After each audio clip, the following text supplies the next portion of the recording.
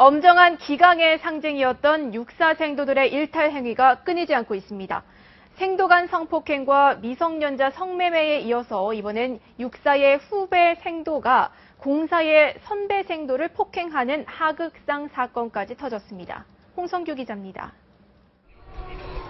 육군사관학교 1학년 생도가 공군사관학교 2학년 생도를 폭행하는 하극상 사건이 벌어져 육사가 자체 조사에 나섰습니다. 사건이 벌어진 건 지난 6일 오전 육사와 해사 1학년 생도들이 육해공군 합동성 강화를 위한 교육을 받기 위해 공군사관학교에 모였습니다.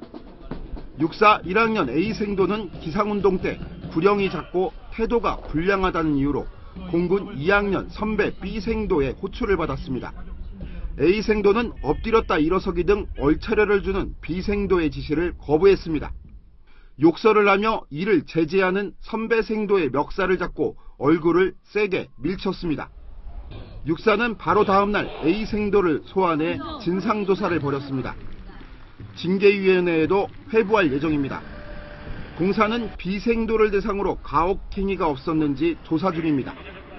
생도 간 성폭행, 해외 봉사활동 중 음주와 마사지, 미성년자 성매수로 질타를 받았던 육군사관학교.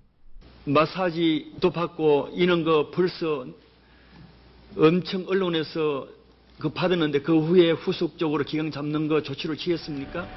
육사교장이 책임을 지고 사퇴까지 하면서 군기 확립과 혁신을 약속했지만 두 달 만에 터져 나온 하극상 폭행. 육사의 끝없는 추락이 어디서 멈출지 모르겠습니다. 채널A 뉴스 홍성규입니다.